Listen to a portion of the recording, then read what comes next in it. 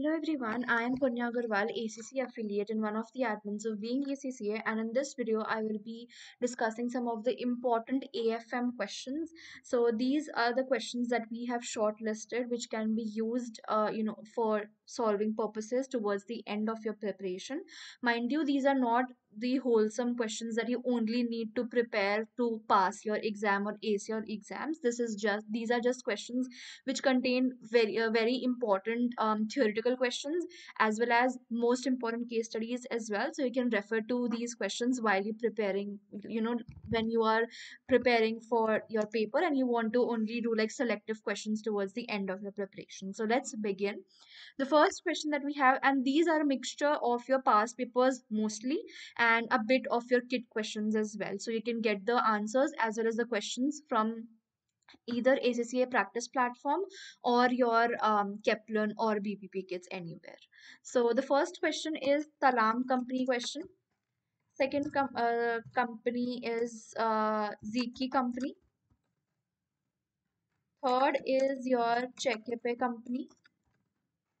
Fourth is your West Parley company. Fifth is your Chakula company. Sixth is your Washi company. Seventh is your Okan company. Eighth is your Arturo company. Ninth is your Tillington company. Tenth is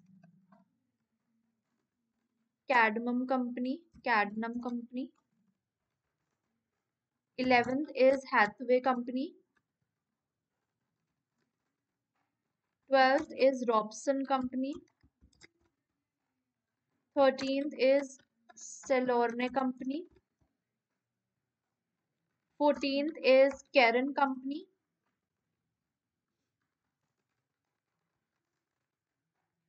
15th is uh, November Company. 16th is Hanwood Shoes Company. 17th is Brandson Company. Brandon Company, sorry. 18th is Bogarth Company.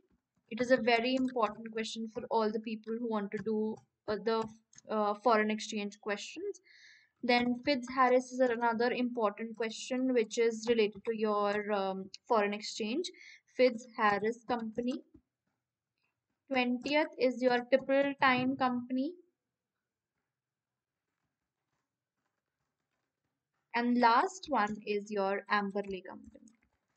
So these are a mixture of your, again, as I said, your past papers and your kit questions. So you can do them and easily find, find answers to them online. So I hope that this video was helpful for you. We'll also be coming up with other paper videos just like this.